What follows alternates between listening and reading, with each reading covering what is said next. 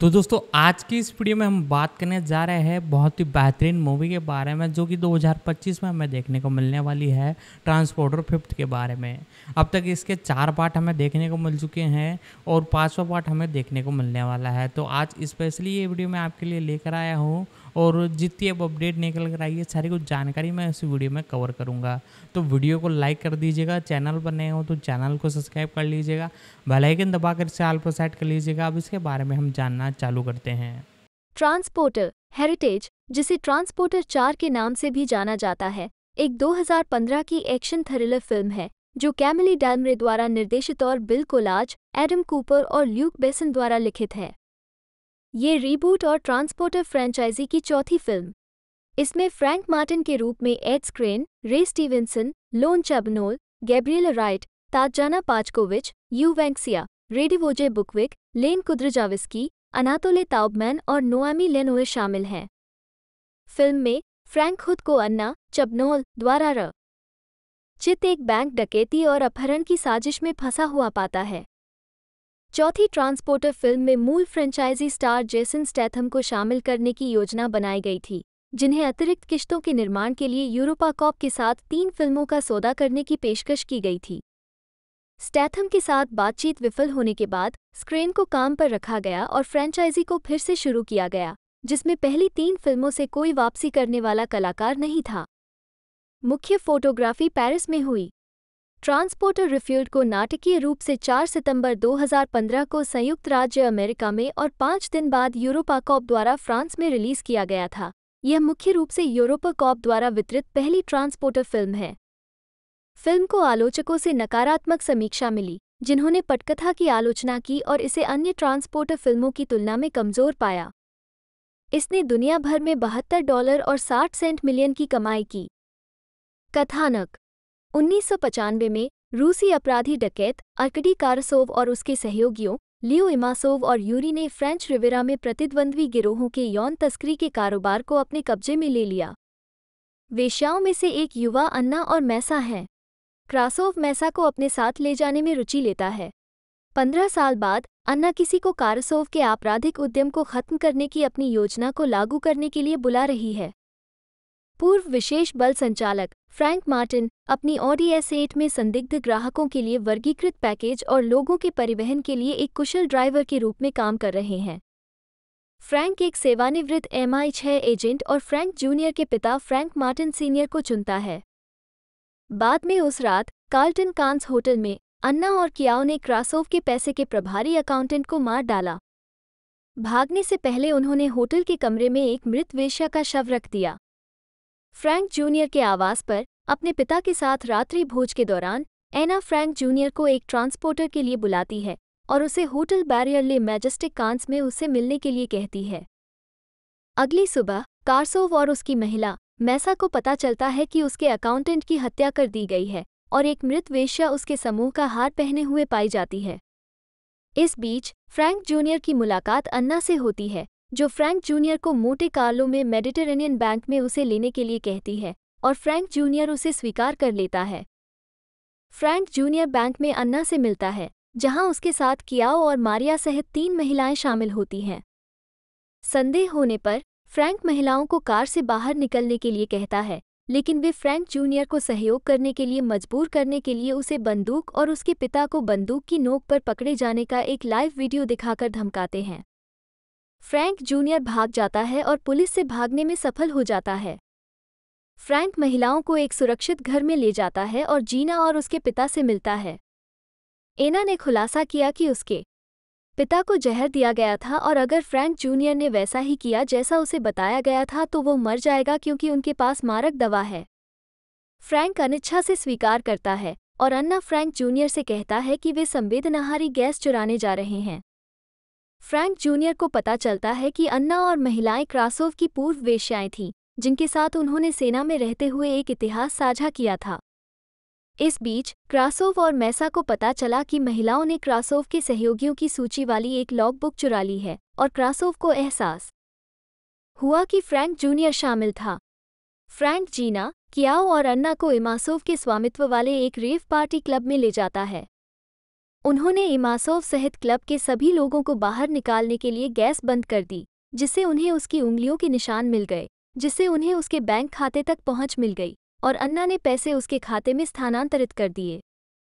Frank senior और Maria Yuri के विमान में घुसपैठ करते हैं और फ्रैंक जूनियर द्वारा उन्हें लेने से पहले उसकी उंगलियों के निशान अपने खाते में सुरक्षित कर लेते हैं।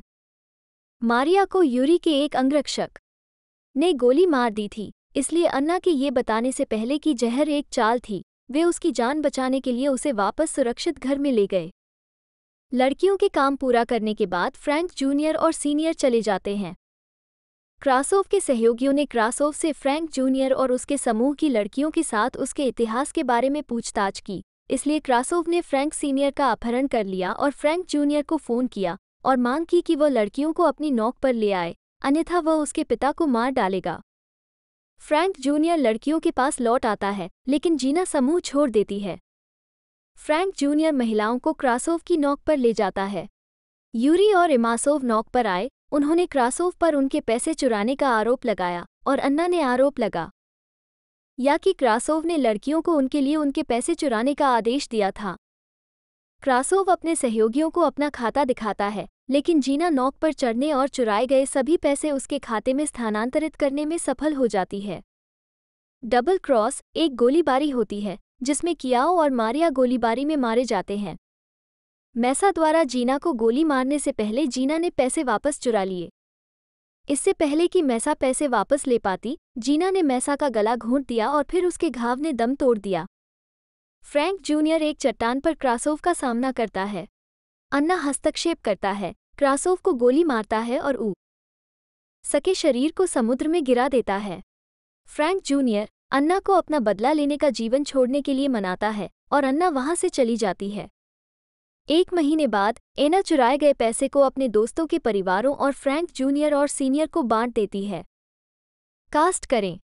फ्रैंक मार्टिन जूनियर के रूप में एड्स क्रेन एक पूर्व भाड़े का अनुबंध चालक, जिसे मुख्य रूप से ट्रांसपोर्टर के रूप में जाना जाता है।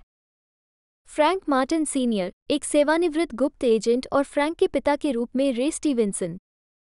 अन्ना के रूप में लोन चबनौल, चार भागी हुई यौन दासियों में से एक, जो फ़िल्म की घटनाओं से पंद्रह साल पहले की एक घटना के लिए कारसोव से बदला लेना चाहती है। जीना के रूप में गैब्रियला राइट, अन्ना की दोस्त और चार भगोड़ी सेक्स गुलामों में से एक, जो कारसोव के खिलाफ निकली थी। मारिया के रूप में ताजाना पाचकोविच, अन्ना की दोस्त और चार भगोड़ी सेक्स गुलामों में से एक। कियाओ के रूप में यू वेंक्सिया अन्ना की दोस्त और चार भगोड़ी सेक्स गुलामों में से एक।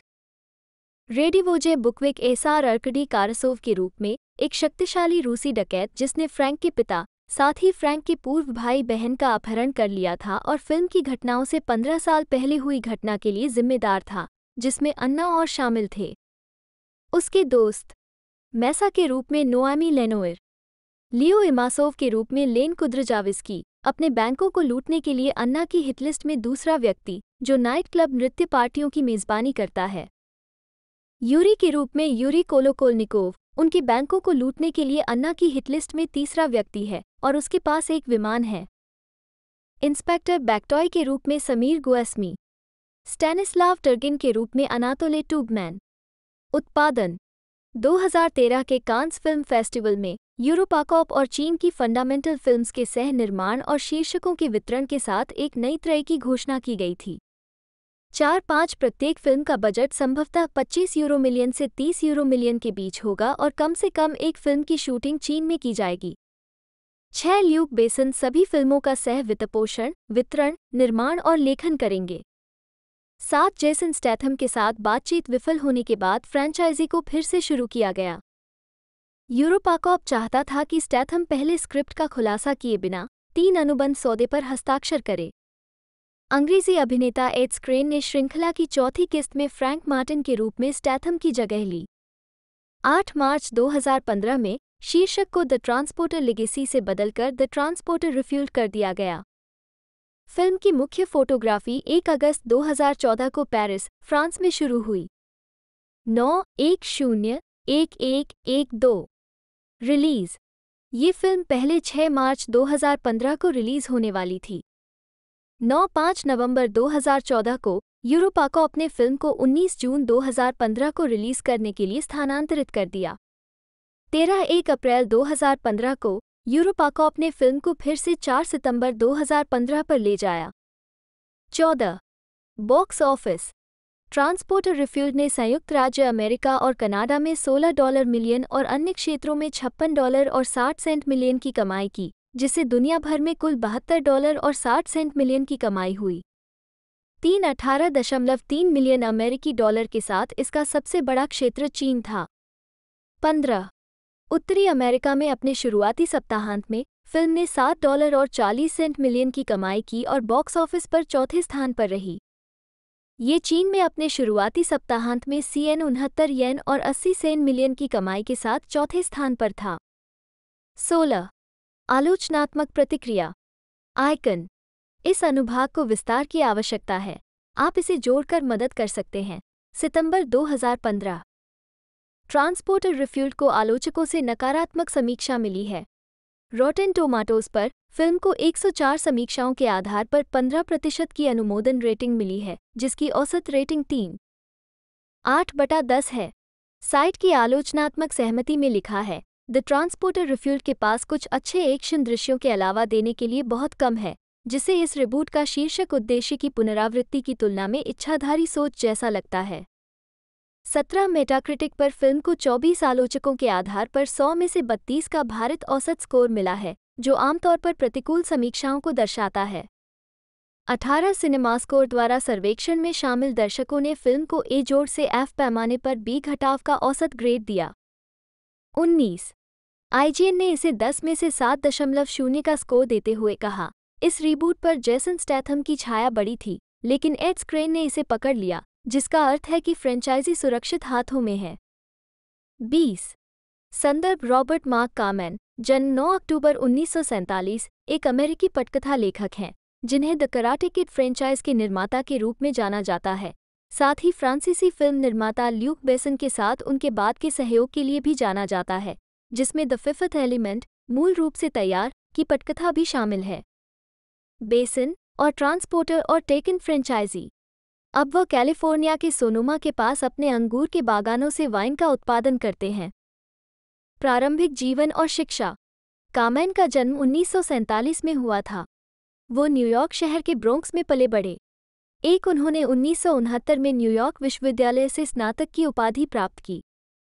दो उन्होंने अपनी पीएच, डी, प्राप्त की पेंसिल्वेनिया विश्वविद्यालय से अमेरिकी अध्ययन में, तीन, करियर, कामैन फ्रांसीसी लेखक और निर्देशक ल्यूक बेसन के लगातार सहयोगी हैं, जिन्होंने the fifth element, the transporter और टेकन श्रृंखला का सह निर्माण किया।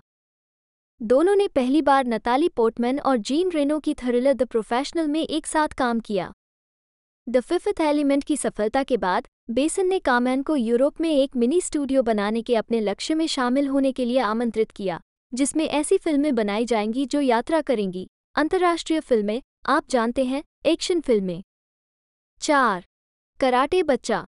कराटे किड कामैन के जीवन पर आधारित एक अर्ध आत्मकथात्मक कहानी है। जब कामैन सत्रह वर्ष के थे, तब 1964 के न्यूयॉर्क विश्व मेले के बाद गुंडों के एक गिरोह ने उनकी पिटाई कर दी थी। इस प्रकार उन्होंने अपनी रक्षा के लिए मार्शल आर्ट का अध्ययन करना शुरू कर दिया। पाँच कामैन अपने पहले शिक्षक से नाखुश थे जिन्होंने मार्शल आर्ट को हिंसा और बदला लेने के उपकरण के रूप में पढ़ाया था। पाँच वह एक ऐसे शिक्षक के अधीन ओकिनावान गोजू रयू कराटे का अध्ययन करने के लिए आगे बढ़े, जो अंग्रेज़ी नहीं बोलता था, लेकिन खुद चोजुन मियागी का। छात्र था। पाँच। एक हॉलीवुड पटकथा लेखक के रूप में कामेन का मार्गदर्शन फ्रैंक प्राइस ने किया था। जिन्होंने उन्हें बताया था कि निर्माता जेरी वेंट्राब ने एक एकल माँ के छोटे बच्चे के बारे में एक समाचार लेख का विकल्प चुना था, जिसने पड़ोस के गुंडों के खिलाफ खुद का बचाव करने के लिए ब्लैक बेल्ट अर्जित किया था। इसके बाद कामन ने अपनी जीवन कहानी को समाचार लेख के साथ जोड़ा और द कराटे किट की पटकथा तैयार करने के लिए दोनों का उपयोग किया। पाँच, डीसी कॉमिक्स में कराटे किड नामक एक पात्र था। फ़िल्म निर्माताओं को पहली फ़िल्म और उसके बाद के सीक्वल के लिए शीर्षक का उपयोग करने के लिए उन्नीस सौ चौरासी में डीसी कॉमिक्स से विशेष अनुमति प्राप्त हुई 6. अंगूर के बागान 1980 में अपनी पहली पटकथा, जो कभी निर्मित नहीं हुई थी, के लिए 135 शून्य शून्य शून्य डॉलर का भुगतान करने के बाद, कामन ने कैलिफ़ोर्निया के सोनोमा काउंटी में सोनोमा के उत्तर में मायाकामास पहाड़ों के पश्चिमी ढलानों पर 280 एकड़ चट्टानी भूमि खरीदने के लिए चेक का उपयोग किया उन्होंने 1981 में 46 एकड़ में अंगूर का बाग बनाने के लिए शराब उत्पादक फिल कोटरी को काम पर रखा था। उन्नीस सौ चौरासी में पहला अंगूर स्थानीय वाइन निर्माताओं को बेचा गया था। उन्नीस सौ छियानवे में आग लगने से आधा अंगूर का बाग नष्ट हो गया। कामेन ने अंगूर के बाग को दोबारा लग, या, और 1999 में उन्होंने अपनी पहली कामेन ब्रांडेड वाइन कैबिनेट सोविनन को बोतलबंद किया। 2002 में कामेन ने अपनी वाइन तैयार करने के लिए मार्क हेरोल्ड को काम पर रखा। सात, फिल्मोग्राफी, वर्ष पतली परत श्रेय टिप्पणियाँ। उन्नीस सौ इक्यासी टीएपीएस पटकथा की है, डैरल पोनिक्सन और जेम्स लाइनबर्गर के साथ सह पटकथा लिखी। उन्नीस सौ बयासी विभाजित छवि स्कॉट स्पेंसर की कहानी पर आधारित, रॉबर्ट कॉफमैन के साथ सह लिखित पटकथा। उन्नीस सौ चौरासी कराटे खिलाड़ी द्वारा लिखित। उन्नीस सौ छियासी कराटे बच्चा भाग दो द्वारा लिखित, पात्रों द्वारा निर्मित। उन्नीस सौ नवासी कराटे बच्चा भाग तीन। दंड देने वाला निर्माता, बिना श्रेय वाला पुनर्लेखन। उन्नीस सौ बानवे तलवार चलाने वाला पटकथा द्वारा, कहानी द्वारा लायल केसलर के साथ सह पटकथा लिखी। रॉबर्ट कामन के रूप में जॉर्ज मिलिसेविक के साथ सह कहानी लिखी। एक की शक्ति पटकथा की है। घातक हथियार तीन जेफरी बोम की कहानी पर आधारित जेफरी बोम के साथ सहलिखित पटकथा। घेराबंदी के तहत बिना श्रेय के पुनर्लेखन आठ। उन्नीस सौ तिरानवे भगोड़ा। उन्नीस सौ चौरानवे अगला कराटे बच्चा द्वारा निर्मित पात्र। उन्नीस सौ पचानवे बादलों में टहलना पटकथा की है मार्क मिलर और हार्वे वीट्जमैन के साथ सहलेखन किया। उन्नीस सौ सत्तानवे शैतान के अप्रकाशित पुनर्लेखन नौ दस। पांचवा तत्व पटकथा की है ल्यूक बेसन के साथ सहलिखित कहानी ल्यूक बेसन द्वारा। शैतान का वकील बिना श्रेय के पुनर्लेखन आठ। यू वेंक्सिया चीनी, यू वे किया, पिनईन, यू वेंक्सिया जन्म 6 अगस्त उन्नीस एक चीनी अभिनेत्री, टीवी होस्ट, गायिका, मॉडल और ब्यूटी क्वीन है, जिन्होंने इनर मंगोलिया के ऑडो सिटी में मिस वर्ल्ड 2012 जीता, वो दूसरी चीनी नागरिक हैं। 2007 में झांग जिलिन के बाद ऐसा करें। एक, प्रारंभिक जीवन और शिक्षा। किसान माता पिता की दो बेटियों में से दूसरी, उनका जन्म 6 अगस्त उन्नीस सौ नवासी को पूर्वोत्तर चीन के हेलोंग जियांग के शांगजी में हुआ था। यू बचपन में गायक बनने और संगीत और प्रकृति की कक्षाओं का आनंद लेने का सपना देखता था। उद्धरण वांछित उन्होंने हार्बिन विश्वविद्यालय में चीनी लोक संगीत में चार साल का विश्वविद्यालय पाठ्यक्रम पूरा किया। वो वर्तमान में संयुक्त राज्य अमेरिका में हार्वर्ड विश्वविद्यालय में पढ़ रही है। करियर। मिस चाइना 2012 30 जून 2012 को बीजिंग के जिन्हाई लेक रिजॉर्ट में यू को मिस चाइना 2012 का ताज पहनाया गया। प्रशस्ति पत्र आवश्यक। मिस वर्ल्ड 2012 18 अगस्त 2012 को यू ने डोंगशेंग फिटनेस सेंटर स्टेडियम ओडो सिटी इनर मंगोलिया चीन में आयोजित 2012 मिस वर्ल्ड प्रतियोगिता जीती। उन्हें मिस टैलेंट का नाम भी दिया गया, जहाँ उन्होंने फाइनल के दौरान मंच पर अपनी विजयी प्रतिभा चीनी लोकगीत का प्रदर्शन किया। जब उनसे पूछा गया कि मिस वर्ल्ड का ताज जीतकर उन्हें कैसा महसूस हुआ तो उन्होंने जवाब दिया, आश्चर्यचकित हूँ और बहुत खुश हूँ। मिस वर्ल्ड जीतना एक बड़ी ज़िम्मेदारी है, जानने के लिए बहुत कुछ है। मैं वास्तव में अपने देश की पहली मिस वर्ल्ड विजेता झांग जिलिन की प्रशंसा करती हूँ। मुझे उम्मीद है कि मैं उनके उदाहरण का अनुसरण करूँगी, लेकिन साथ ही अपनी पहचान भी बनाऊँगी। मैं मिस वर्ल्ड ऑर्गेनाइजेशन के साथ काम करने और अपनी करुणा और प्यार साझा करने और अपने शासनकाल के पूरे वर्ष में कई लोगों के जीवन को बेहतर बनाने में मदद करने के लिए बहुत उत्सुक हूँ। दो, मिस वर्ल्ड के रूप में अपने शासनकाल के दौरान, uni United Kingdom, Italy, France, दक्षिण Africa Bharat, Australia, Philippines, Thailand, Indonesia, रूस, संयुक्त राज्य अमेरिका, हैती, ब्राज़ील, तुर्की, घाना, हंगरी, यूक्रेन और चीन की यात्रा की। मिस वर्ल्ड 2013 मिस वर्ल्ड 2013 के ग्रैंड फाइनल में यूनी टैलेंट प्रतियोगिता की विजेता और उपविजेता इंडोनेशिया की वानिया लारिसा और ऑस्ट्रेलिया की एरन हॉलैंडर के साथ टेंजेट का प्रदर्शन। लेन कुद्रजाविस की दो महीने की उम्र में अपने माता पिता के साथ लेनिनग्राद से पूर्वी बलिन आए थे, जहाँ उनके पिता एक वैज्ञानिक के रूप में नौकरी करते थे और उनकी माँ एक दुभाषिया के रूप में काम करती थीं। उन्होंने वायलिन वादन की खोज की और छह साल की उम्र में वे लेनिंग्राड स्टेट बैले के साथ मंच पर थे। एक उन्होंने एक कलात्मक हाई स्कूल में दाखिला लिया, जहाँ उन्होंने अभिनय, गायन और वायलिन की शिक्षा प्राप्त की। अंततः ड्रेस्डन में उन्होंने वायलिन का अध्ययन किया। 2001 से 2006 तक कुद्रजाविज की आरटीएल श्रृंखला एब्सटनेट 40 के स्थायी समूह का हिस्सा था। साथ ही, उन्होंने विभिन्न सिनेमा और टेलीविज़न प्रस्तुतियों में भाग लिया, जैसे कि पाइपमेंट एल बी, स्टीफन रोजोविट्जकी की ऑस्कर विजेता फ़िल्म द काउंटरफिटर्स में, पोप जोन में, Paramount production Jack Ryan, Shadow Recruit में, केविन के साथ। कॉस्टनर कैनेथ ब्रांग द्वारा निर्देशित और द ट्रांसपोर्टर रिफ्यूल्ड में ल्यूक बेसन द्वारा निर्मित और लिखित और एआरडी सीरीज़ डेयर क्रोएटियन क्रिमी में एक कमिश्नर के रूप में। दो वह जर्मन फ़िल्म अकादमी के सदस्य हैं। कैटरीन एंड व्लादिमीर, उन्नीस सौ छियानवे, टीवी मूवी, व्लादिमीर। टैटोट, उन्नीस सौ अट्ठानवे TV series, David Kovacic, Milan, सगेज Litvin, Shakir.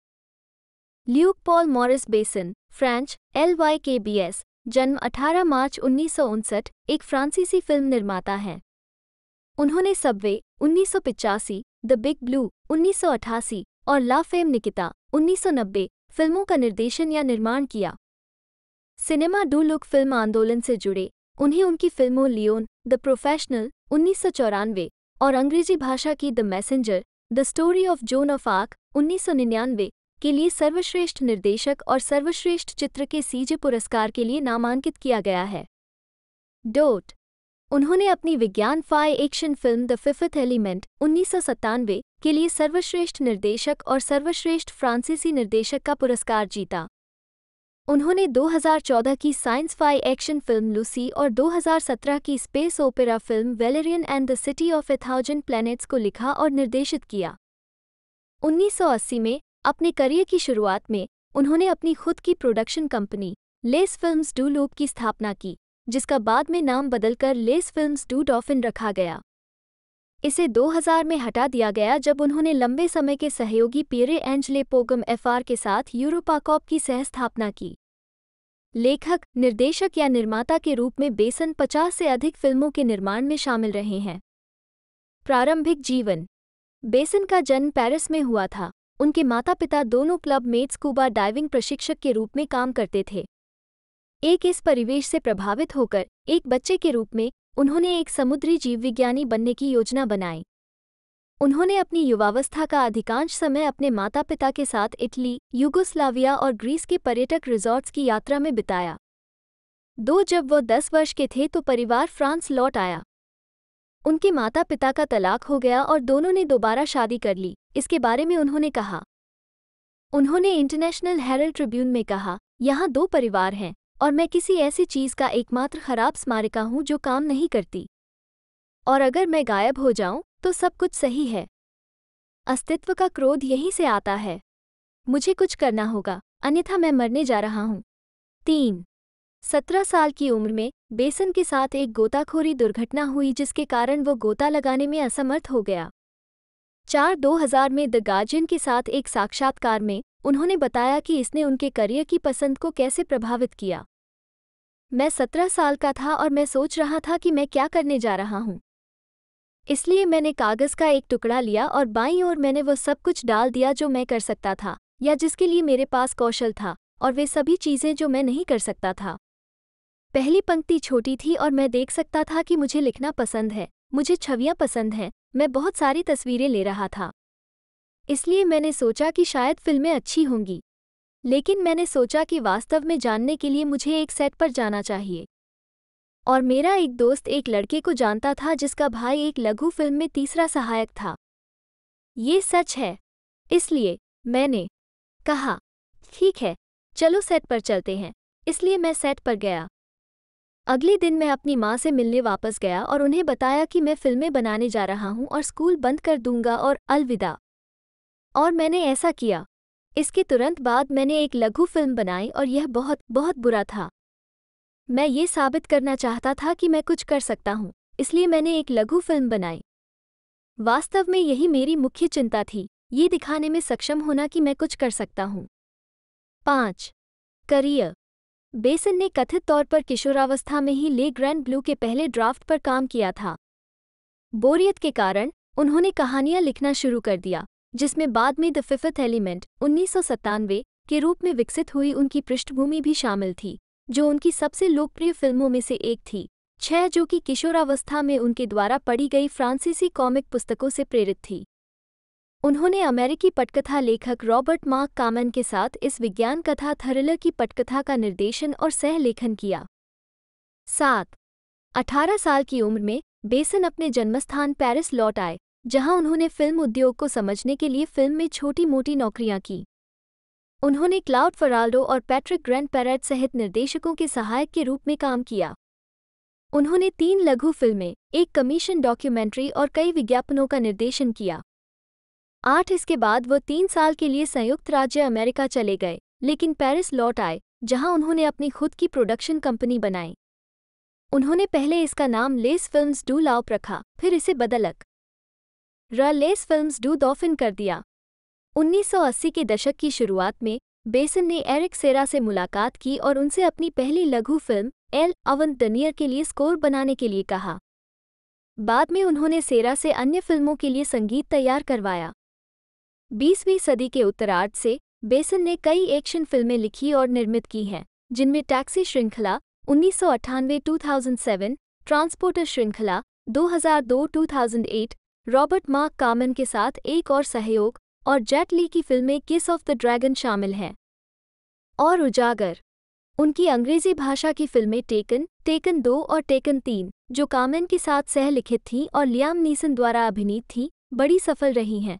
Taken दो सबसे ज़्यादा कमाई करने वाली निर्यात फ्रांसीसी फ़िल्म बन गई है। उद्धरण वांछित बेसन ने पेरिस 2012 ओलंपिक बोली के लिए प्रचार फ़िल्म का निर्माण किया। 9. 2000 कांस फ़िल्म महोत्सव में बेसन। बेसन ने अपनी फ़िल्म द फिफ्थ एलिमेंट, उन्नीस सौ सत्तानवे, के लिए सर्वश्रेष्ठ निर्देशक के लिए लूमियरस पुरस्कार 10 और सर्वश्रेष्ठ निर्देशक के लिए सीजर पुरस्कार जीता।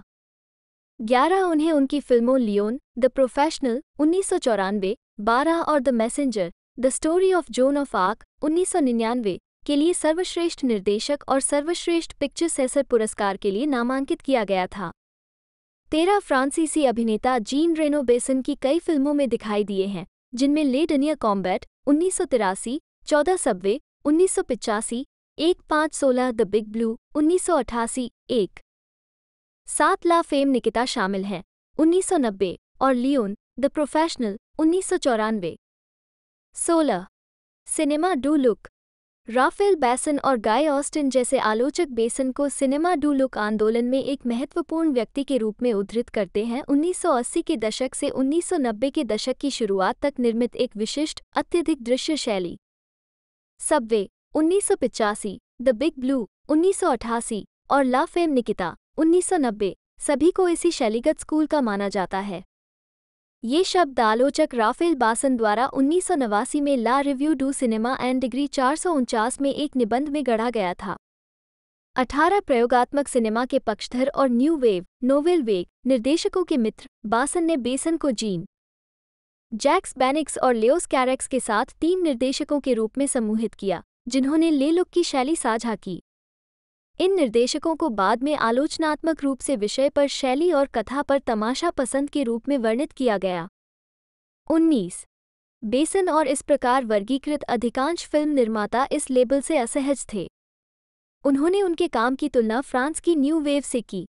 जीन ल्यूक गोडार्ड और फ्रांकोइस ट्रूफोर्ट मौजूदा सांस्कृतिक मूल्यों के खिलाफ विद्रोह कर रहे थे और उन्होंने सिनेमा को अभिव्यक्ति के साधन के रूप में सिर्फ़ इसलिए इस्तेमाल किया क्योंकि यह उस समय का सबसे उन्नत माध्यम था, बेसन ने उन्नीस में द न्यूयॉर्क टाइम्स में एक साक्षात्कार में कहा।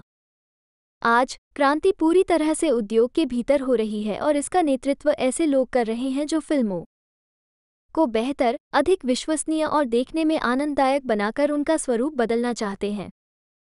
उन्होंने कहा, चूँकि इस क्षेत्र में प्रवेश करना कठिन होता जा रहा है, इसलिए हमने एक मनोवैज्ञानिक कवच विकसित किया है और काम करने के लिए कुछ भी करने को तैयार हैं। मुझे लगता है कि हमारा जुनून ही फ़िल्म निर्माण प्रतिष्ठान के स्तंभों को हिला देगा। 20. बेसन ने आंग सान सूकी की बायोपिक द लेडी 2011 मूल शीर्षक डांस ला लूमेरे का निर्देशन किया। उन्होंने लॉकआउट 2012 पर भी काम किया। 21 कार्य। बेसन की कई फ़िल्मों ने आलोचनात्मक नहीं तो लोकप्रिय सफलता हासिल की है। ऐसी ही एक रिलीज़ थी Le Grand Bleu International Herald Tribune ने बेसन की 2007 की प्रोफ़ाइल में लिखा है, जब 1988 के कांस फ़िल्म फेस्टिवल में ओपनिंग नाइट पर फ़िल्म का प्रीमियर हुआ था तो इसे बेरहमी से पीटा गया था, लेकिन इससे कोई फ़र्क नहीं पड़ा, यह एक धमाका था। युवा लोगों द्वारा गले लगाए जाने के बाद, जो इसे दोबारा देखने के लिए आते रहे फ़िल्म ने 10 मिलियन टिकट बेचे और जल्द ही वो बन गई, जिसे फ्रांसीसी फ़िल्म जनरेशन कहते हैं, जो संस्कृति में एक निर्णायक क्षण था। तीन, बेसन ने आथ श्रृंखला बनाए जिसमें आथा और मिनिमोय आथा और फबिडन सिटी आथा और मालसार का प्रतिशोध और आथर और दो दुनियाओं का युद्ध शामिल है। उन्होंने आथर एंड द इनविजिबल्स का निर्देशन किया, जो संग्रह की पहली दो पुस्तकों का रूपांतरण था। लाइव एक्शन और एनिमेशन वाली एक फ़िल्म इसे यूके और यूएस में रिलीज़ किया गया था। प्रशस्ति पत्र आवश्यक। आलोचनात्मक मूल्यांकन। बेसन को सबसे हॉलीवुड फ्रांसीसी फ़िल्म निर्माताओं के रूप में वर्णित किया गया है। बाई स्कॉट टोबियास ने लिखा है कि उनकी स्मार्ट कमर्शियल एक्शन फ़िल्में इतनी अदला बदली योग्य थी ड्रग्स फुहरता हँसते हुए सुपर विलेनी और हांगकांग शैली के प्रभाव की प्रत्येक नई परियोजना शायद शीर्षक पृष्ठ पर व्हाइट आउट के साथ शुरू होती है। तेईस। अमेरिकी फ़िल्म समीक्षक आर्मिन व्हाइट ने एक्शन फ़िल्म को निखारने और क्रांति लाने के लिए बेसन की प्रशंसा की है, जिन्हें वह सर्वश्रेष्ठ फ़िल्म निर्माताओं में से एक मानते हैं। उन्होंने लिखा कि बेसन ने अपने पात्रों के संघर्ष को मानवीय पतन के प्रति कर्तव्यनिष्ठ प्रतिरोध के रूप में चित्रित किया है। चौबीस। व्यक्तिगत जीवन। बेसन की चार बार शादी हो चुकी है। सबसे पहले 1986 में, अभिनेत्री एनी पैरलाउड से। उनकी एक बेटी जूलियट थी, जिसका जन्म उन्नीस सौ सतासी में हुआ था। पैरलोड ने बेसन की ला फेम निकिता 1990 में अभिनय किया था। उन्नीस सौ इक्यानवे में उनका तलाक हो गया। बेसन की दूसरी पत्नी अभिनेत्री और निर्देशक माविन ले बेस्को थी। जिनके साथ उन्होंने तब डेटिंग शुरू की जब वो बत्तीस वर्ष के थे और वो पंद्रह वर्ष की थी। पच्चीस उन्होंने उन्नीस सौ बानवे के अंत में शादी की जब 16 वर्षीय ले बेस्को अपनी बेटी शन्ना के साथ गर्भवती थी, जिसका जन्म तीन को हुआ था। जनवरी उन्नीस सौ तिरानवे, छब्बीस ले बेस्को ने बाद में दावा किया कि उनके रिश्ते ने बेसन की फ़िल्म लियोन उन्नीस सौ चौरानवे को प्रेरित किया, जहाँ कथानक में एक वयस्क व्यक्ति और 12 वर्षीय लड़की के बीच भावनात्मक संबंध शामिल था। 25 उनका विवाह उन्नीस सौ सत्तानवे में समाप्त हो गया, जब बेसन द फिफ्थ एलिमेंट उन्नीस सौ सत्तानवे के फिल्मांकन के दौरान अभिनेत्री मिला जोवोविच के साथ जुड़ गए। उन्होंने 14 दिसंबर उन्नीस सौ सत्तानवे को 21 वर्षीय जोवोविच से शादी की, जब वह 38 वर्ष के थे। 1999 में उनका तलाक हो गया। 27 28 अगस्त 2004 को 45 साल की उम्र में बेसन ने 32 साल की फ़िल्म निर्माता वजनी सिला से शादी की। उनके तीन बच्चे हैं। 28 बलात्कार का आरोप। 2018 में Valerian and the City of a Thousand Planets में दिखाई देने वाली अभिनेत्री सैंड वान रॉय ने बेसन पर बलात्कार का आरोप लगाया। उनतीस निर्देशक के वकील थियरी मारम्बट ने कहा कि बेसन ने इन काल्पनिक आरोपों से स्पष्ट रूप से इनकार किया है और आरोप लगाने वाला कोई ऐसा व्यक्ति था जिसे वो जानता है। जिसके प्रति उसने कभी भी अनुचित व्यवहार नहीं किया है। तीस इकतीस।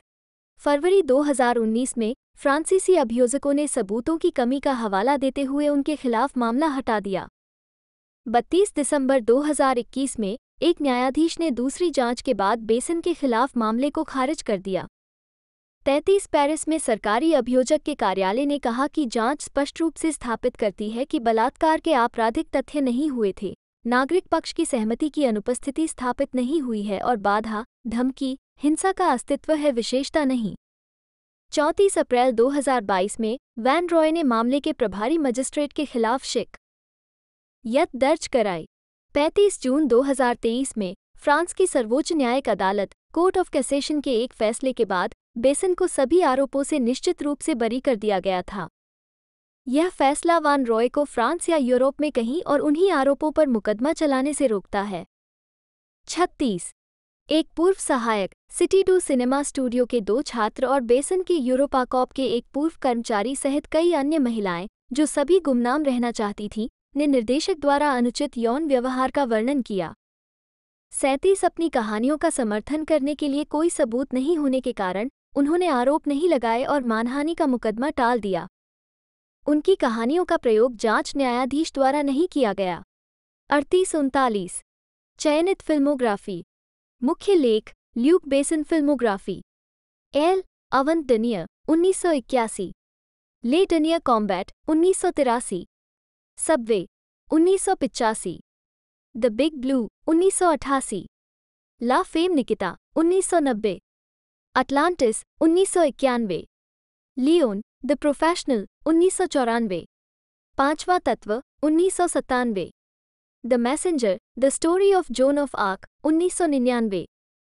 Angel A 2005 Arthur and the Minimoys 2006 लिया गया 2008 Arthur and the Revenge of Maltazard 2009 Adele Blanc Sec का असाधारण रोमांच 2010 आथ तीन, दो दुनियाओं का युद्ध 2010 द लेडी 2011 परिवार 2013 लूसी 2014 वेलेरियन और हज़ारों ग्रहों का शहर 2017 अन्ना 2019 डॉगमैन 2023 विरासत और सम्मान.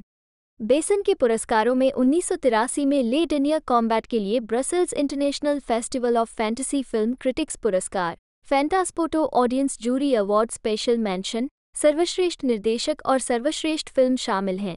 Italian National Syndicate of Film Journalists Silver Ribbon सर्वश्रेष्ठ निर्देशक विदेशी फ़िल्म, ला फेम निकिता के लिए 1990 सर्वश्रेष्ठ ब्रिटिश फ़िल्म के लिए एलेक्जेंडर कोडा पुरस्कार, नील बाय माउथ उन्नीस सौ सत्तानवे और द फिफ्थ एलिमेंट उन्नीस सौ सत्तानवे के लिए सर्वश्रेष्ठ निर्देशक सीजर पुरस्कार।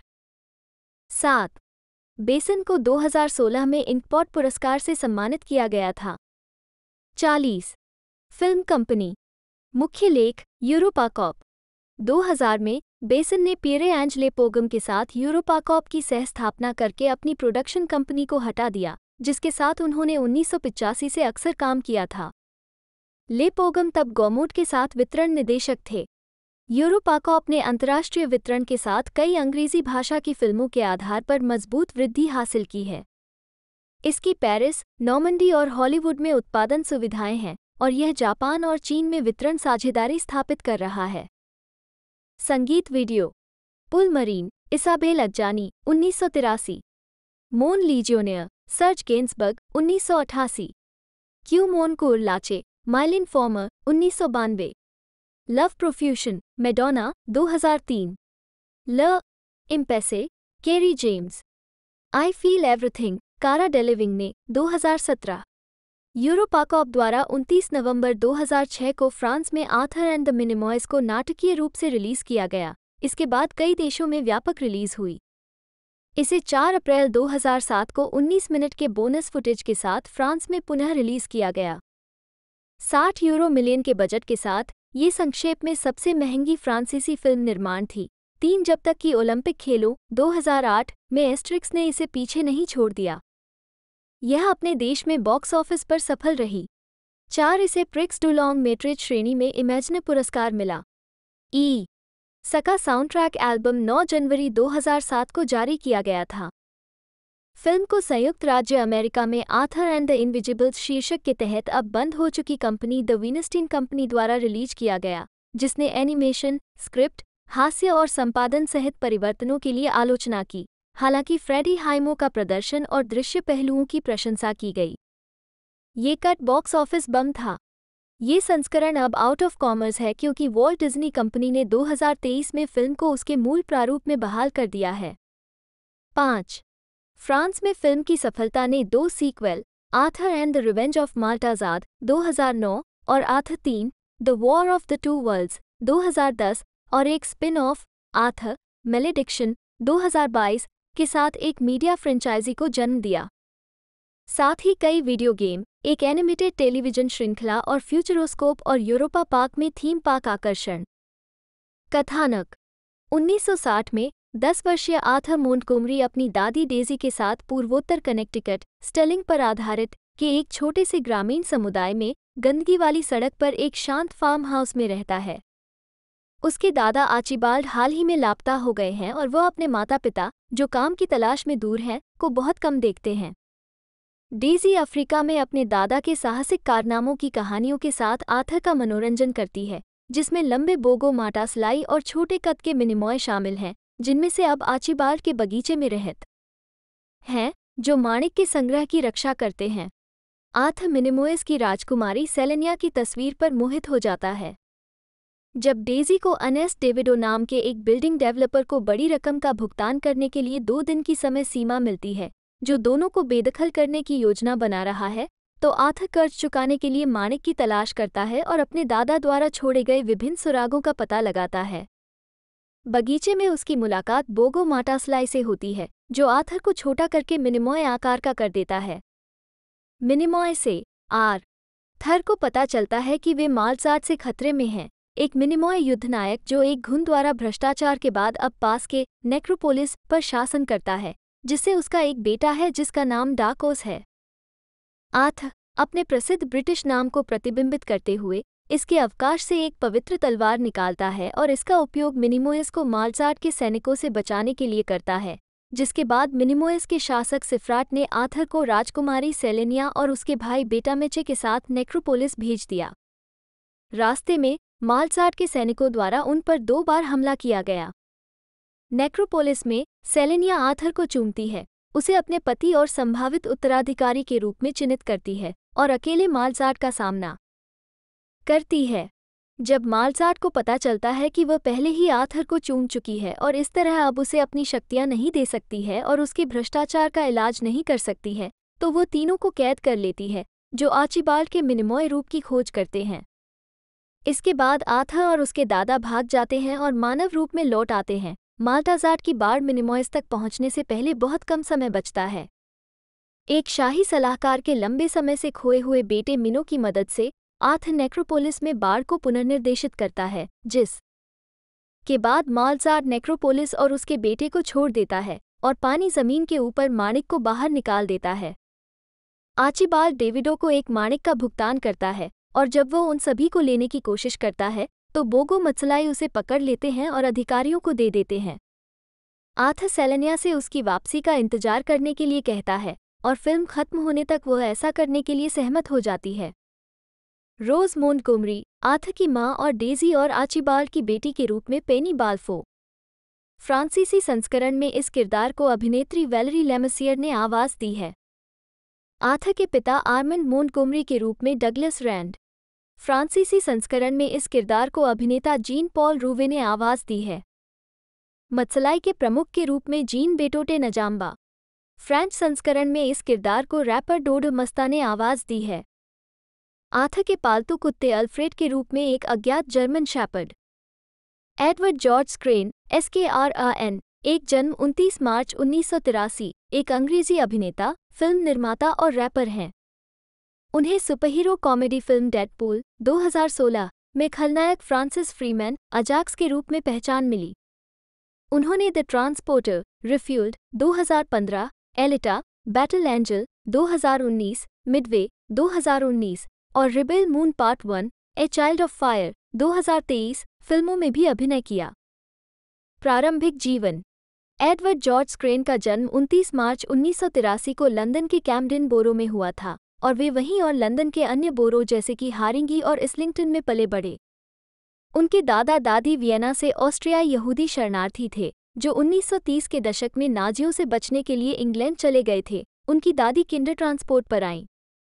दो, तीन, चार, पाँच उन्होंने फोर्टिसमेयर स्कूल में पढ़ाई की तीन फिर Byam Shaw School of Art से फाइन आर्ट पेंटिंग में बीए के साथ स्नातक की उपाधि प्राप्त की। छः करियर। संगीत। 2004 में स्क्रीन ने रिकॉर्ड लेबल डेंटेड रिकॉर्ड्स के तहत एक तीन ट्रैक ईपी जारी किया। 2007 में उन्होंने अपना पहला album the eat up release किया।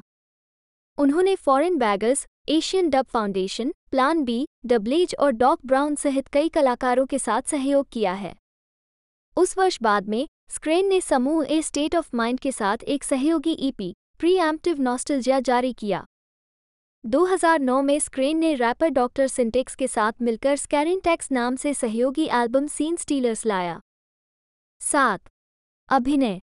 स्क्रेन ने अपने अभिनय की शुरुआत प्लान बी की लघु फ़िल्म मिशेल से की। आठ स्क्रेन को उनकी पहली मुख्य भूमिका प्लान बी के इलमैनज में मिली। स्क्रेन ने टेलीविज़न श्रृंखला गेम ऑफ़ थ्रोन्स के तीसरे सीज़न में डारियो नाहरिस की भूमिका निभाई। हालाँकि, सीरीज़ के चौथे सीज़न में उनकी जगह डच अभिनेता माइकल हुइसमैन ने ले ली। स्क्रेन का कहना है कि शो छोड़ना उनकी पसंद नहीं थी। 9 2014 में स्क्रेन को द ट्रांसपोर्टर रिफ्यूल्ड में जैसन स्टैथम की जगह मुख्य भूमिका में लिया गया था। हालाँकि फ़िल्म की आलोचना की गई, लेकिन उनके अभिनय की प्रशंसा की गई। एक शून्य एक एक एक दो एक तीन दो शून्य एक छः में स्क्रेन ने ब्लॉकबस्टर एक्शन फ़िल्म डेडपूल में मुख्य खलनायक अजाक्स की भूमिका निभाई। एक चार एक पाँच दो शून्य एक सात में स्क्रेन ओशन विजडम के आई कॉन्टैक्ट संगीत वीडियो में बुरे आदमी की भूमिका निभाते हुए भी दिखाई दिए। सोलह 2018 में स्क्रेन ने नताली डॉमर और स्टैसी मार्टिन के साथ मनोवैज्ञानिक बदला थरिलर इन डार्कनेस में अभिनय किया। प्रमुख फोटोग्राफी 2016 की शुरुआत में शुरू हुई। सत्रह व हेलबॉय रिबूट में बैन डेमियो अठारह एक जापानी अमेरिकी चरित्र के रूप में अभिनय करने वाले थे। अपनी कास्टिंग पर विवाद के बाद, स्क्रेन ने ट्विटर पर घोषणा की कि वह इस उम्मीद में भूमिका से हट रहे हैं कि उचित जातीयता के अभिनेता को कास्ट किया जाएगा। एक नौ दो शून्य दो एक आठ नवंबर 2019 को उन्होंने रोलैंड एमरिज की ब्लॉकबस्टर फ़िल्म मिडवे में अभिनय किया। जिसमें Mandy Moore, Patrick Wilson, Luke Evans, Aaron Eckhart, Nick Jonas, Dennis Quaid और वुडी हेरल्सन सह कलाकार थे।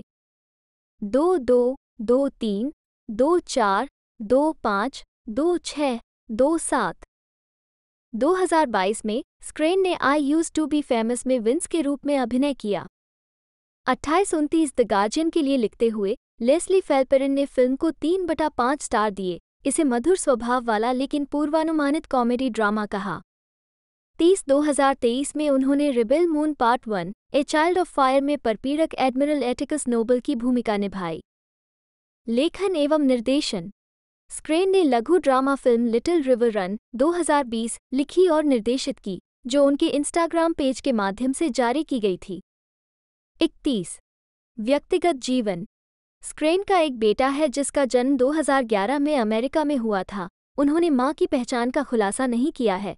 उनकी तीन बच्चे हैं, जैसा कि उनकी अगली फ़िल्म रैबल मून के प्रचार के लिए एक साक्षात्कार में पता चला। बत्तीस। स्क्रेन 12 साल की उम्र से ग्रीनविच लीजर लिमिटेड के लिए तैराकी कोच रहे हैं, कैलेडोनियन रोड और आर्कवे में अवकाश केंद्रों पर काम करते हैं। तीन तीन तीन चार, तीन पाँच। डिस्कोग्राफी।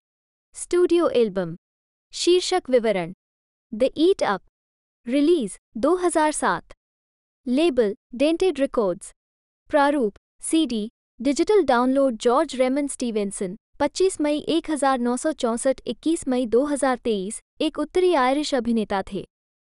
उन्होंने फ़िल्म किंग आथर 2004 में डागोनेट और टेलीविज़न श्रृंखला रोम 2005-2007 में टाइटस पुलो की भूमिका निभाई। उन्होंने दो मावल कॉमिक्स पात्रों को चित्रित किया पुनिश वॉर जोन 2008 में फ्रैंक कैसल, द पनिशर और मार्वल सिनेमैटिक यूनिवर्स 2011-2017 में the super hero squad show और वोल्स्टैग। उनकी अन्य फ़िल्मों में किल द आयरिशमैन 2011 शामिल है, जहाँ उन्होंने डकैत डैनीगर रीन की भूमिका निभाई, द थ्री मस्किटियर्स 2011 और आरआरआर 2022 जहाँ उन्होंने खलनायक गवर्नर स्कॉट की भूमिका निभाई।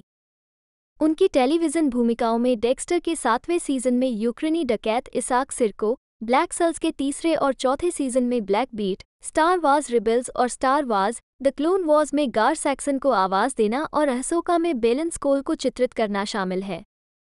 स्टीवेंसन की शादी आठ साल तक अंग्रेज़ी अभिनेत्री रूथ जेमिल से हुई थी और इतालवी मानव विज्ञानी एलिसबेटा कारासिया से उनके तीन बेटे थे। स्टीवेंसन की मृत्यु 21 मई 2023 को हुई। मृत्यु का कोई कारण सामने नहीं आया है। प्रारंभिक जीवन।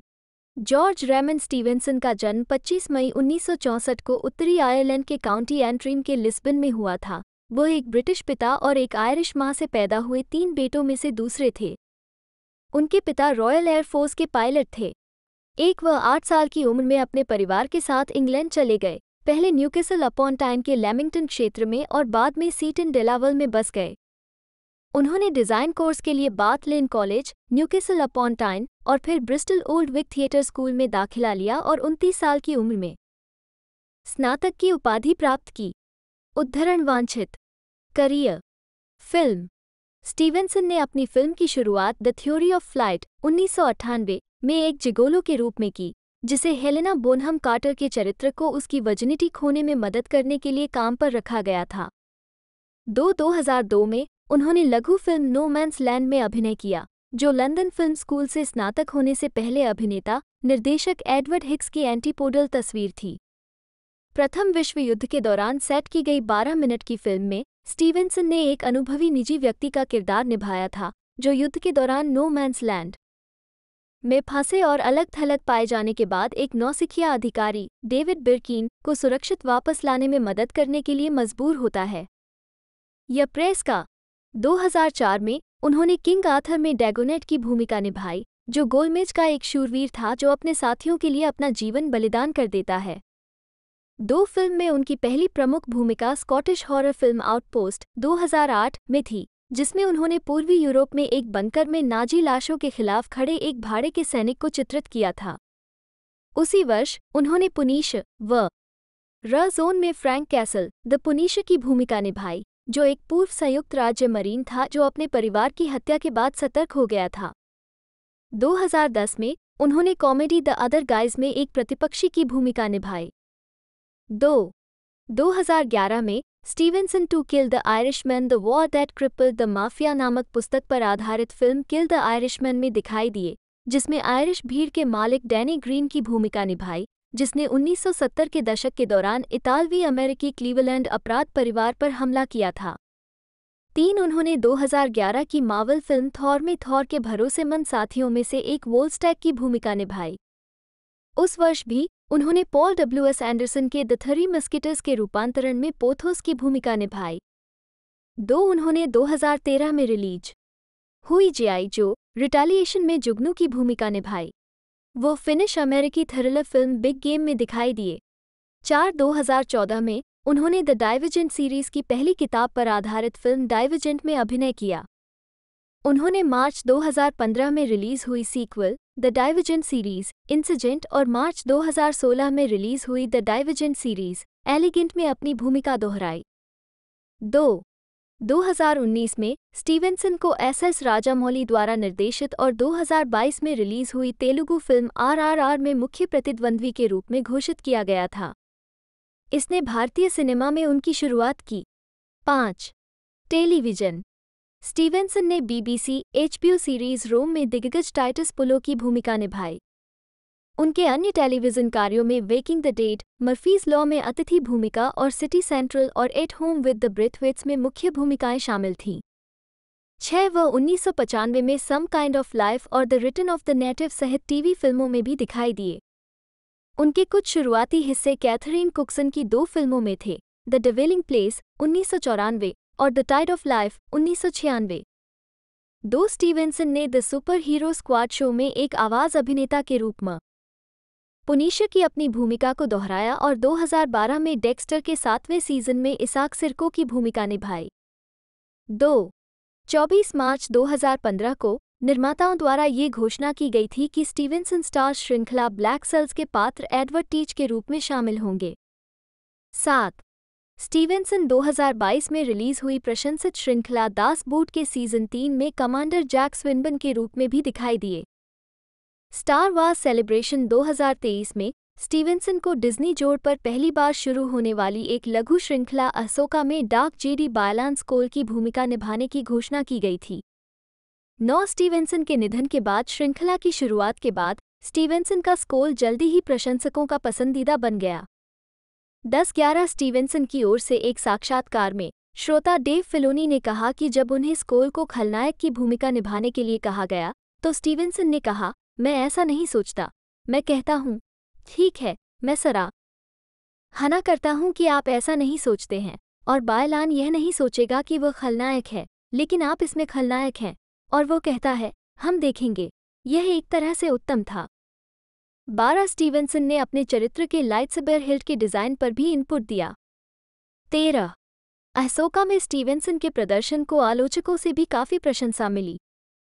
मेट्रो ने उनके काम को संपूर्ण स्टार वार्स श्रृंखला के मुख्य आकर्षणों में से एक के रूप में वर्णित किया। चौदह, जबकि कोलाइडर ने स्टीवेंसन को एक अपरिहार्य गंभीरता के रूप में वर्णित किया और कहा कि उन्होंने चरित्र निर्माण में एक मास्टर क्लास दिया। तेरह। स्टेज। स्टीवेंसन के मंचीय कार्य में 2000 में यॉर्क मिंस्टर में यॉर्क मिस्ट्री प्ले में यीशु मसीह की भूमिका निभाना शामिल था। 2001 में उन्होंने लिंसे डंकन और माइकल मेलोनी के साथ लंदन के अल्बर्टी थिएटर में केविन एलियट के नाटक माउथ टू माउथ में रोजर की भूमिका निभाई। उनका सबसे प्रसिद्ध किरदार शायद 2003 में रॉयल नेशनल थिएटर में जॉन वेबस्टर द्वारा जैनेट मैकेटीर के साथ द डचेस ऑफ़ माल्फी में कार्डिनल का किरदार था। पंद्रह व्यक्तिगत जीवन। उन्नीस सौ सत्तानवे में स्टीवेंसन ने लंदन में अंग्रेज़ी अभिनेत्री रूथ जेम मिल से शादी की। उनकी मुलाकात बैंड ऑफ़ गोल्ड उन्नीस के सेट पर हुई थी और बाद में उन्होंने पीक प्रैक्टिस उन्नीस सौ सत्तानवे में एक विवाहित जोड़े की भूमिका निभाई। शादी के आठ साल बाद 2005 में उनका तलाक हो गया। सोला स्टीवेंसन के इतालवी मानव विज्ञानी एलिसबेटा कारासिया से तीन बेटे थे। सत्रह, मृत्यु। स्टीवेंसन का 21 मई 2023 को अट्ठावन वर्ष की आयु में निधन हो गया। अठारह नौ मौत का कोई कारण सामने नहीं आया है, लेकिन कथित तौर पर उन्हें इतालवी द्वीप इस्चिया में कसिनो के सेट पर अस्पताल में भर्ती कराया गया था। 1920 रोसैरियो डॉसन, स्कॉट एटकिंस और जेम्स प्योरफॉय सहित स्टीवेंसन के सह कलाकारों ने श्रद्धांजलि अर्पित की। 19 कसिनो इन इस्चिया में स्टीवेंसन की भूमिका डोमिनिक परसेल ने संभाली। 21 22 अगस्त 2023 को स्टीवेंसन की मृत्यु के ठीक तीन महीने बाद रिलीज़ हुए अहसोका के पहले एपिसोड में उनके प्रति एक समर्पण शामिल है। हमारे दोस्त, रे के लिए। बाई सेवाना साखनो जिन्होंने अशोका में स्टीवेंसन की ऑन स्क्रीन प्रशिक्षु शिनहती की भूमिका निभाई, ने स्मरणोत्सव में लिखा कि वह हमेशा के लिए उनकी भेड़िया रहेंगी। उनके पात्रों के नाम उन दो वार्गों के नाम पर रखे गए हैं जिन्होंने चंद्रमा और सूर्य का पीछा किया था। स्कैंडिनेवियाई पौराणिक कथा। तेईस। फिल्मोग्राफी। फ़िल्म। चाबी। उन फ़िल्मों को दर्शाता है जो अभी तक रिलीज़ नहीं हुई हैं, लोन चबनौल। जन्म 30 दिसंबर 198212 एक फ्रांसीसी अमेरिकी अभिनेत्री, कलाकार और मॉडल हैं। तीन उन्हें जॉन टटूरो की comedy fading gigolo, romantic drama third person, action thriller the transporter refuelled और horror drama anthology TV series tales of the walking dead में उनकी भूमिका के लिए जाना जाता है। जीवन और करियर। लोन चबनौल का जन्म 30 दिसंबर 1982 को पेरिस, फ्रांस दो में हुआ था। एक दो वह वियतनामी, जर्मन और इतालवी मूल की हैं। चार उनके प्रारंभिक वर्ष कलाकार बर्नार्ड बिस्टेस के साथ कला कक्षाओं में बीते। पाँच सोलह साल की उम्र में एलिट मॉडल मैनेजमेंट द्वारा खोजी गई। वह एले और मैरी क्लेयर जैसी पत्रिकाओं के कवर पर रही हैं। छह 2010 में वो Lee Strasberg theatre and film institute में अभिनय का अध्ययन करने के लिए न्यूयॉर्क चली गई। छः, अभिनय। चैबनोल को उनकी पहली फीचर फ़िल्म भूमिका जॉन टटूरो की कॉमेडी फैडिंग जिगोलो में मिली। 2014 में उन्हें मिला कुनिस के साथ थर्ड पर्सन में एक महत्वपूर्ण दयालु किरदार निभाते हुए सैम के रूप में चुना गया था। सात 2015 में उन्हें द ट्रांसपोर्टर रिफ्यूल्ड में मुख्य फीमेल फेटेल के रूप में चुना गया था। आठ 2022 में चैबनोल ने एंथोलॉजी श्रृंखला, tales of the walking dead की पहली किस्त में मुख्य भूमिका निभाते हुए द वॉकिंग डेड ब्रह्मांड में प्रवेश किया, जो सफल एमसी श्रृंखला का नवीनतम अवतार है। नौ, कला कार्य। 2015 में चैबनोल ने न्यूयॉर्क शहर में अपनी पहली एकल कला प्रदर्शनी खोली, दस मोनिका वॉटकिंस द्वारा क्यूरेट की गई बॉर्न इन ब्लू। दस शो में एक लघु एनिमेटेड फ़िल्म शामिल थी, जिसमें समुद्र के तल से जीवित होते फिनिक्स के जन्म को दर्शाया गया था। उनके अगले काम नेमसिस को 2018 में एलए प्रदर्शनी में पेश किया गया था। 11 इसके बाद कई अन्य कलाकारों के साथ समूह शो वेराइज 12 पेश किया गया था। 2019 में उन्होंने अपनी पहली बच्चों की किताब ब्लूबू जारी की, तेरह जो ब्राउन वुड्स में रहने वाले एक नीले शस की कहानी है, जो जंगल में बचे आखिरी कैटरपिलर से मिलता है। प्रशस्ति पत्र आवश्यक। व्यक्तिगत जीवन। फरवरी 2020 में चबनौल अमेरिकी नागरिक बन गई। चौदह गैब्रिएला राइट, जन्म 19 जून 1982 एक अंग्रेज़ी अभिनेत्री और मॉडल हैं, जिन्हें द ट्यूडर्स श्रृंखला में फ्रांस की रानी Claude, film the perfect husband में वियोला और action thriller the transporter refuelled में जीना की भूमिका के लिए जाना जाता है। अपने अभिनय और मॉडलिंग करियर के अलावा, वो एक मानवतावादी और कार्यकर्ता है, जिन्होंने लिंग आधारित हिंसा और आत्महत्या की रोकथाम पर कई अंतर्राष्ट्रीय अभियानों में योगदान दिया है। प्रारंभिक जीवन राइट का जन्म 19 जून 1982 को लंदन के स्टॉक न्यूइंगटन में एक मूर्तिकार और चित्रकार पॉल डेविड राइट और एक शिक्षिका और लेखिका एनी कैथरीन राइट के घर हुआ था। एक दो उनके भाई बहन पॉलेट और पास्कल राइट हैं। वो 12 साल की उम्र में अपने माता पिता के साथ फ्रांस चली गई और अंग्रेज़ी साहित्य और सामाजिक अर्थशास्त्र में स्नातक की उपाधि प्राप्त की। दो वह वर्तमान में लॉस एंजल्स में रहती हैं। राइट के अभिनय प्रशिक्षकों में सुसान बैटसन और जैक गार्फिन शामिल हैं। प्रशस्ति पत्र आवश्यक। अभिनय करियर। 2004 में राइट ने विजय सिंह द्वारा निर्देशित फ़िल्म वन डॉलर करी में अपनी पहली मुख्य भूमिका निभाई। दो। 2007 में राइट ऐतिहासिक नाटक श्रृंखला द ट्यूडर्स में फ्रांस की रानी क्लाउड के रूप में दिखाई दी। तीन। 2014 में राइट एचबीओ की अलौकिक ड्रामा सीरीज़ ट्रू ब्लड के सातवें सीज़न में दिखाई दी, जिसमें उन्होंने सिल्वी की भूमिका निभाई। चार उन्होंने लुकास पवेटो द्वारा निर्देशित horror film the perfect husband में ब्रेट रॉबर्ट्स और कार्ल वॉटन के साथ मुख्य भूमिका निभाई। पाँच। 2015 में right action thriller film the transporter refuelled में दिखाई दिए जिसका निर्देशन छह सात कैमिली डेलामारे ने किया था। आठ। 2016 में राइट को फ़िल्म सिक्योरिटी में रूबी के रूप में लिया गया था, जिसमें एंटोनियो बैंडरस और बेन किंग्सले थे। 9. 2018 में राइट ने एक्शन टीम में रेबेखा वोल्ट की भूमिका निभाई, जो जेम्स डी फ्रोन द्वारा निर्देशित एक जासूसी कॉमेडी स्पूफ थी। राइट ने पैट्रिक ह्यूजेस द्वारा निर्देशित 2021 अमेरिकी action comedy film hitman's wife's bodyguard में एंटोनियो बैंडरस के चरित्र के लिए व्यक्तिगत हिटवुमन वेरोनिका की भूमिका निभाई। सक्रियता, राइट का मानवीय जुड़ाव 2004 से है। वो प्रोडक्शन कंपनी कॉन्शियस इंटेंट की संस्थापक हैं जो मानव कहानी को बढ़ावा देने के लिए विभिन्न मीडिया प्रारूपों का समर्थन करती है। 10. 2019 में उन्होंने मिशेल पास्कल द्वारा निर्देशित आई एम नेवर अलोन का निर्माण किया। 11 जो नेवर अलोन 12 वैश्विक अभियान के लिए प्रेरणा थी, जिसे उन्होंने दीपक चोपड़ा के साथ स्थापित किया था। तेरह इसके अलावा चोपड़ा के साथ उन्होंने ध्यान और योग अनुप्रयोग, माइंड डाइव में टेलीपैथी और ऑटिज्म नामक श्रृंखला में योगदान दिया।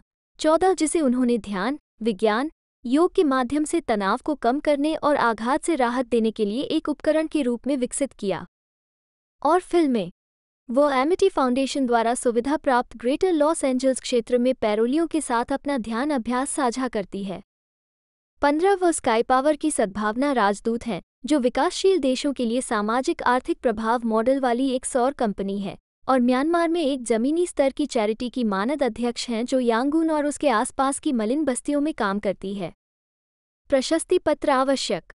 एक प्रेरक वक्ता के रूप में वो महिलाओं और लड़कियों के खिलाफ हिंसा को समाप्त करने की वकालत करती हैं और उन्होंने लंदन 2018 और लॉस एंजल्स 2019 में महिलाओं के खिलाफ हिंसा को समाप्त करने के लिए संयुक्त राष्ट्र महिला और यूएन ट्रस्ट फंड सोलर के लिए अपनी आवाज़ दी है। निकोल किडमैन, वो डिफ़िकल्ट डायलॉग्स फोरम 2018 में एक अतिथि वक्ता रही हैं, जिसमें भारत और हॉलीवुड में मी टू आंदोलनों की तुलना की गई है और उन्होंने कार्नेगी हॉल में कई बार आघात के उपचार, ध्यान की शक्ति और पूर्णता की तलाश कैसे की जाए? इस पर भी बात की है। जीवन की परिस्थितियों का। उनकी हालिया सगाई में जिम्बाब्वे की हिंसा से बची एक युवा महिला की शक्तिशाली कहानी दिखाई गई, जिसे उन्होंने 24 अक्टूबर 2019 को बोस्निया और हर्जेगोविना में आयोजित पहले UN trust fund grantee convention के उद्घाटन और आत्महत्या पर एक सेमिनार में सुनाया। रोकथाम और आत्म जागरूकता जो उन्होंने 3 जनवरी 2020 को भारत के अमृता विश्व विद्यापीठम विश्वविद्यालय में दिया। 18 दोस्तों, बात की जाए तो इस फ्रेंचाइजी के अंदर सबसे पहली मूवी द ट्रांसपोर्टर 2002 में देखने को मिली थी, और इसके बाद ट्रांसपोर्टर 2 2005 और 2008 में इसका तीसरा पार्ट देखने को मिला था। 2015 के अंदर इसका एक तरह से चौथा पार्ट देखने को मिला था और इसी के बीच हमें 2012 से 14 के बीच में एक सीरीज़ देखने को मिली थी ट्रांसपोर्टर द सीरीज़ कर कर जो भी बड़ी ही हिट रही थी।